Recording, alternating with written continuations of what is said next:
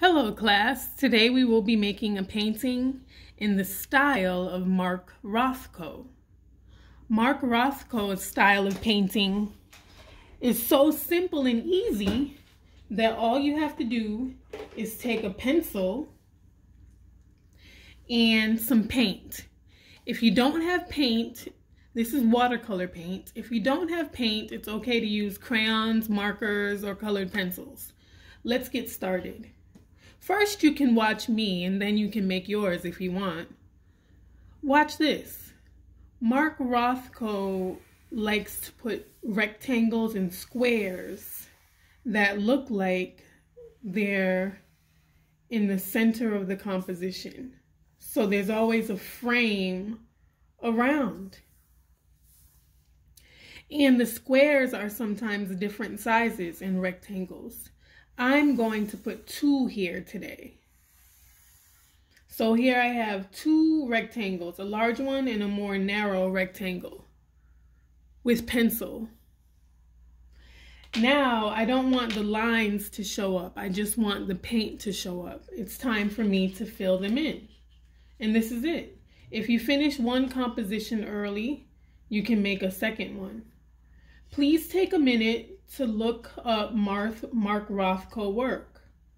If you haven't seen Mark Rothko's work, please look it up now just to get an idea of how your composition should look. I'm choosing blue. I'm making this blue color here by taking a drop of water, putting it on my blue and rubbing it back for a very long time until the water turns into paint, watercolor paint. I want to paint this square, this rectangle blue. And I think I want to paint the other spaces on the composition darker shades of blue or maybe a green.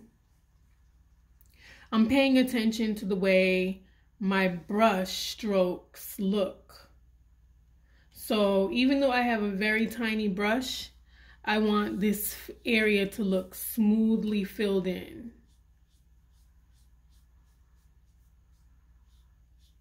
So I want this area to be nice and dark too. I don't want it to be too light. So it's gonna, I'm gonna have to use lots of watercolor for this. If you want to start now, you can. Go ahead and make two or three rectangles on your paper in the style of Mark Rothko. Did you make your two rectangles? Are you coloring in your rectangles now? With paint, are you painting inside of your rectangles? Today when you share your work, you might have more than one composition and that's okay. If you finish fast, you can make another one. Today is a very easy day. We're just doing abstract expressionism in the style of Mark Rothko. When you present your work today, in order to get the five points, you have to use the word color field painting. That's for the big kids. If little kids, if you can remember that word, you can use it too. Color field painting. It's just the field of color. So I want it to be very blue here in this field. This field below I might make dark blue. So pay attention to how you're filling in your field. It has to look nice and even.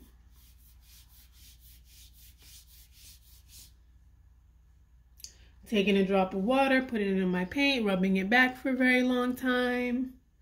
That's it. Color field painting.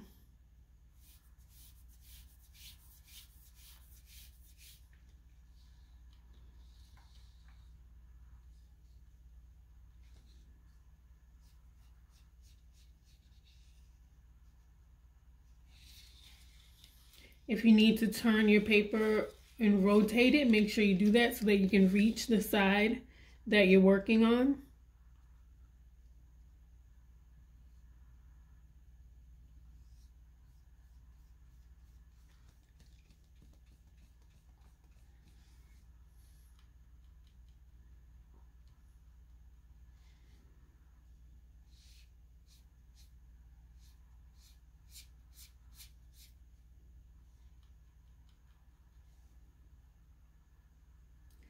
Color field painting. It's just fields of color. Are you painting in your fields of color?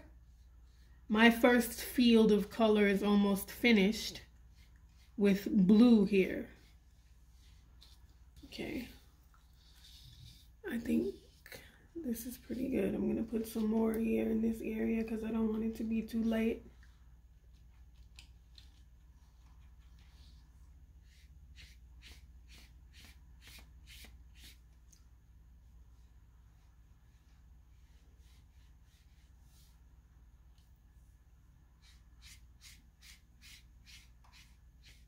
Be very gentle with the brush. Make sure that your brush is always smooth.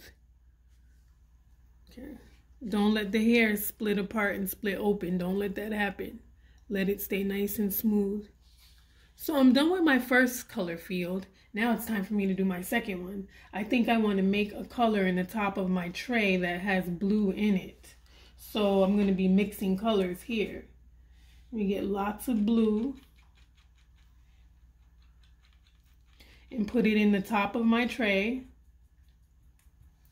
I'm still getting lots of blue.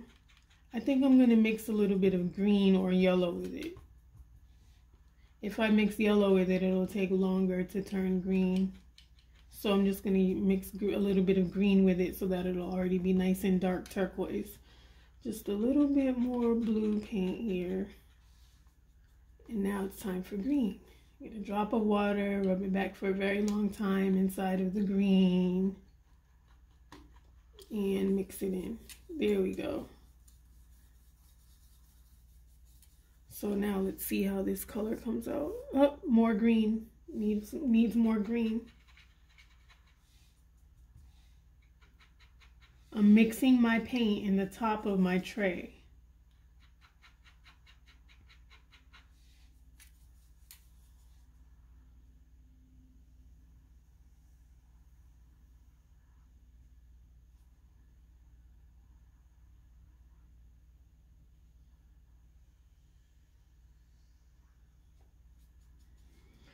I want this to come out nice and dark too. I don't want it to look light like watercolor. I want it to be a little bit darker. So I need to make a lot of paint, mix a lot of paint. I don't want to run out. It doesn't have to be so neat. Mark Rothko's work, his color field paintings look a little messy.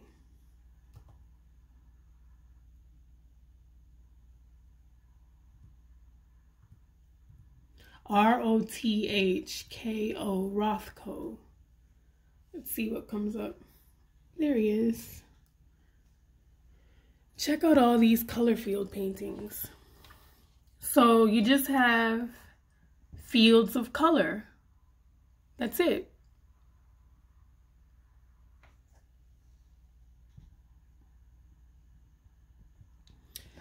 See, this one is red and red with a frame around it. This one is orange and blue. This one is yellow, beige, yellow, and red. This one is orange, yellow, and orange with a frame around it. This one is green, beige, and green. And this one that I'm making is blue and turquoise or blue and emerald. What color is yours? It's almost time for us to share. When you share your work, make sure you use the word what? Color field painting. Mark Rothko explored many different colors in his color field paintings.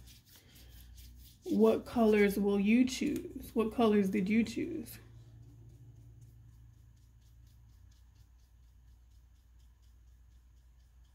If you finish your work early, please make another one.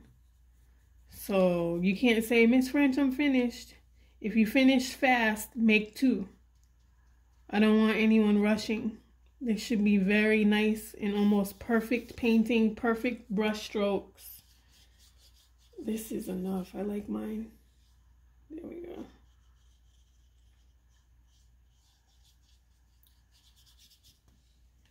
Wow. Now I'm going to do the outside edge. The outside edge should actually be black or gray or yellow. See.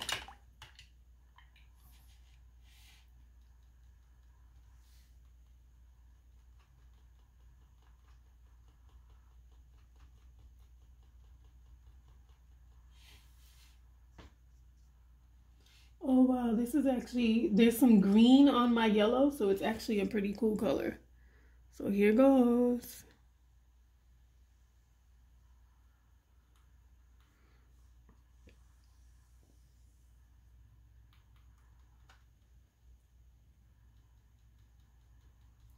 Mark Rothko style color field painting.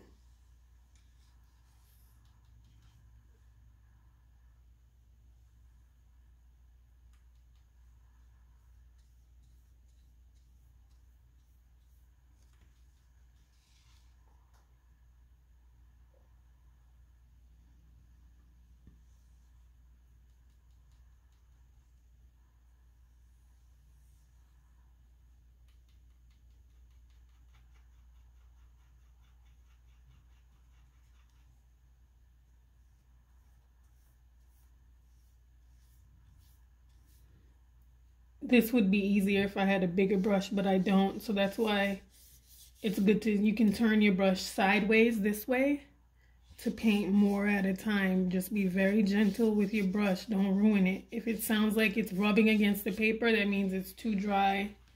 You always want your brush to be nice and wet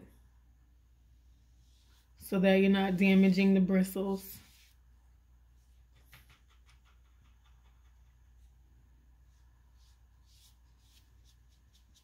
I think that it was a good choice to choose this chartreuse type color that I made here.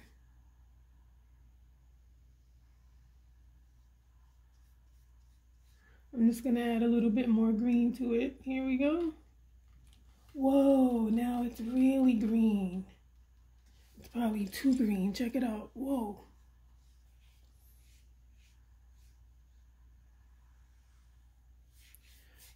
When you look at Mark Rothko's work, you'll notice that sometimes the colors do blend like this. So that's why it's okay for me to blend this, to make this chartreuse turn a little bit more green. Because we're doing it in the style of Mark, Mark Rothko. And Mark Rothko does that. see. He does what? He lets his yellow change into green. He lets his colors change sometimes. This is my frame, so I'm letting it change. My, my color fields are nice and even. I'm leaving it that way. It's almost time for us to share. When you're ready to share your work, please raise your hand in Zoom. You'll get five points if you use the word color field. Color field painting. You if you remember the artist's name, you can use that too. Mark Rothko.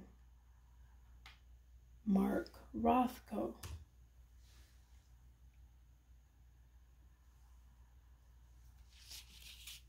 Rothko style color field painting. It's a form of abstract art.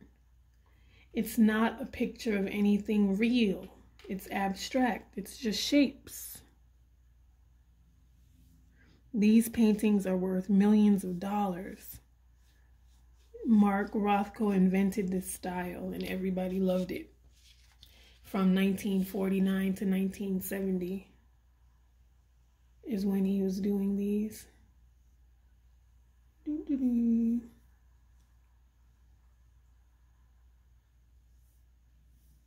Okay, let me present my work. Hello, my name is Miss French and this is my color field painting in the style of Mark Rothko. Color field painting is a style of abstract art. I chose the color blue and then I made the color emerald and I also made this chartreuse color for my frame. Thank you.